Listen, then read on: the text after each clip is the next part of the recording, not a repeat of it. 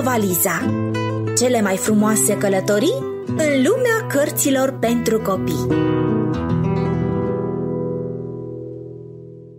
Potcoava de aur Poveste populară din Guatemala Dom Pedro era trist. Noaptea, animalele intrau pe câmpurile lui și îi călcau recolta. Ce putea face? Toată recolta va fi distrusă dacă nu facem ceva le-a zis domn Pedro fiilor săi. Tată, voi sta eu de veghe pe câmp toată noaptea, a zis Manolo, fiul cel mai mare, și voi prinde animalele. Noaptea, Manolo și-a întins o rogojină pe jos, la marginea câmpului, și a stat de veghe. Dar, pe la miezul nopții, a adormit, iar animalele sălbatice au venit și au călcat recolta de porumb. În următoarea noapte, a stat de veghe fiul mijlociu, Jose, care însă a pățit-o la fel ca și Manolo. Poate că Miguel va reuși să prindă sălbăticiunile, a spus domn Pedro. Manolo și Jose au râs, căci Miguel, fratele lor mai mic, umblea cu capul în nord tot visând că într-o bună zi o să se alăture trupei de la circ. Cum putea el să reușească acolo unde frații mai mari dăduseră greș? Miguel însă nu și-a întins rogoșina pe jos. El s-a așezat pe un scaun înalt și făcea exerciții cu funia, legând diferite tipuri de noduri pentru a rămâne treaz. La scurt timp după miezul nopții, Miguel a auzit bătăi de aripi și șase cai au coborât pe câmp, nechezând voios și călcând lanul de porumb. Miguel a aruncat la soul și a prins unul din cai.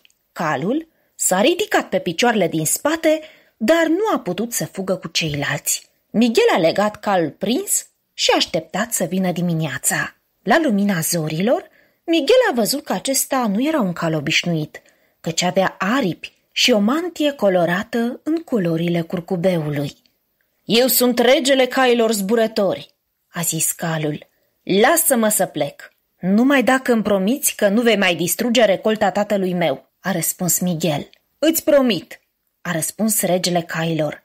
Și Miguel a dezlegat funia lăsându-l să plece. Drept răsplată, îți dau potcoava mea de aur, a zis calul, dând din aripi și ridicându-se în aer. Dacă ai vreodată nevoie de ajutor, e de ajuns să atingi potcoava. Odată ce recolta era în siguranță, Miguel a luat potcoava și a plecat să-și caute norocul în lume. Într-un târziu, a ajuns într-un mare oraș în care trăia un rege. Fica regelui căuta un soț, dar nu voia să se mărite cu un conte sau cu un baron oarecare – ea căuta un bărbat viteaz și înțelept și de aceea a pus la cale o întrecere pentru a-l găsi pe cel care o merită cu adevărat. Prințesa urma să stea în vârful celui mai înalt turn din oraș, cu inel de logodnă în mână, astfel încât doar cel care ajungea să ia inelul din mâna ei urma să-i devină soț.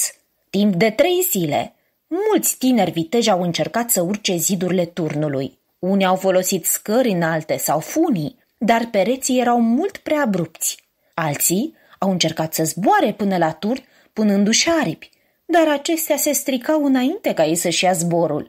Prințesa a tot așteptat, dar niciunul dintre tineri nu a ajuns aproape de ea. Și chiar atunci când era gata să se lase pe gubașă, în piață apăru un tânăr îmbrăcat în haine sărăcăcioase, călare pe un cal fermecat, ce strălucea ca un curcubeu. În văzul tuturor, calul de culoarea curcubeului și-a desfăcut aripile. Toată lumea a rămas cu gura căscată când calul s-a ridicat în zbor până la balconul la care aștepta prințesa. Tânărul a luat inelul din mâna fetei. În sfârșit, istiața își găsise un bărbat pe măsura ei. Nu era el baron sau conte, dar știa să-și pună mintea la treabă. Acest tânăr era, după cum v-ați dat probabil seama, Miguel, mezinul. După nuntă, el a înapoiat potcoava de aur calului de culoarea curcubeului, mulțumindu-i din suflet. Regele cailor zburători îl răsplătise peste măsură.